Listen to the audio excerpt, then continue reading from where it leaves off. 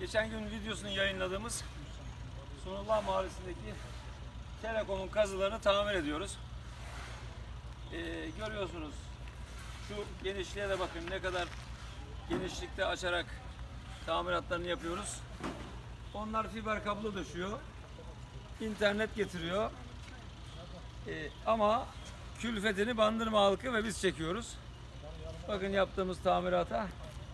Şimdi bunları yapıyoruz. İnşallah sonradan tekrar gelip öbürküler kazmaz.